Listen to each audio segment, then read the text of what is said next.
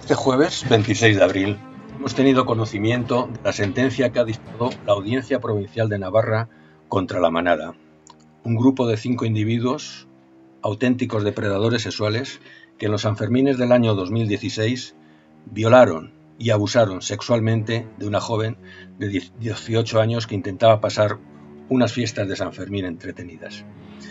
La audiencia les ha condenado a nueve años de prisión porque entiende que solamente ha habido abuso sexual, cuando está totalmente corroborado mediante vídeos que hubo violaciones, penetraciones por delante, por detrás, en repetidas ocasiones a esta mujer. Estamos ante una sentencia timorata en la que toda España está clamando por lo que se considera auténticamente una pena mínima.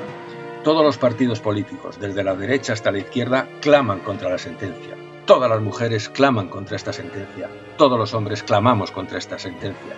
Esperemos que en la justicia carcelaria se haga más justicia que la que han hecho los tribunales de este país. Tribunales que continuamente nos hacen que pensar si verdaderamente en España hay justicia o, como diría Pedro Pacheco, exalcalde de Jerez, es un cachondeo.